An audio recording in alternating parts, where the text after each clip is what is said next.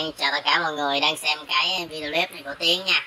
Rồi Hôm nay mình à, làm clip mình à, giới thiệu với tất cả mọi người một cái mẫu súng bắn đạn công su à, Đây là con à, Chimmer 2014 à, Con này thì nó nhìn cái bên ngoài của nó anh em nhìn thì nó rất là giống với cái con à, à, Yuzaki à, 914 à, à, anh em nhìn thấy không? Nếu anh em nào mà chơi hàng nhiều hoặc là có theo dõi á, tìm hiểu á, em nên nhìn thấy cái con Trimmer 2014 này nó giống như là con uh, Yuzaki uh, 914 à, hai con này nhìn nếu mà nhìn thì nó không khác gì cả.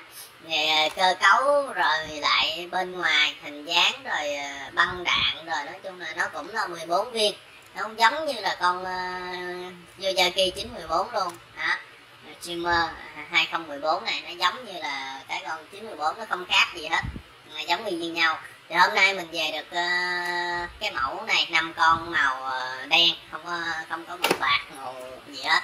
Mình về cái mẫu này màu đen hết. Đây năm con.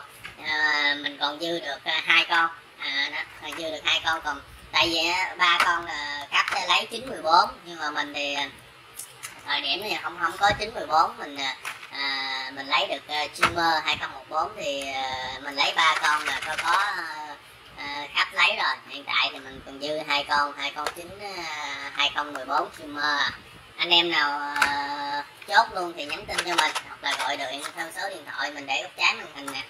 0706 222 435 hoặc anh em nào muốn xem thêm những cái hình ảnh gì đó thì có thể uh, liên hệ trực tiếp vào website của tiến uh, súng cao su tk nha website. Hoặc là mình cũng có để link dưới mô tả anh em nhấp vào là xem cao su chính uh, 2014 Trimmer nha.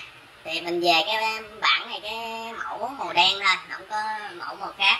Anh em mình có thể muốn chơi những cái dòng nào thì cũng có thể order mình có thể nhận order luôn. À, nhận order rồi khi nào có hàng rồi mình báo nha. À, lưu ý về cái cách giao dịch của shop uh, bên tiến là shop mình chỉ nhận chuyển khoản trăm phần trăm không có cách uh, giao dịch khác. Anh em mình mua hàng thì lưu ý cái vấn đề chuyển khoản cái, cái vấn đề giao dịch đó là bên mình chuyển khoản. À, anh em mình lưu ý cái vấn đề à, giao dịch giúp mình nha. Để nó khỏi có mất thời gian của cả hai. À, à, con này cơ cấu hoạt động thì giống như là 914 thôi cũng không có gì để mình review nhiều. À, thì à, anh em nào xem thì cứ xem lại những cái clip à, cũ của mình làm nha. Con này thật sự giống như 914 vậy à, mẫu mã hay cũng y vậy mình cũng chả biết ờ, nói gì để review hết. Hả chín mười bốn hàng này là hàng nhập hết ờ, trăm phần trăm. Hàng zin ờ, nhập từ thái. À. đây.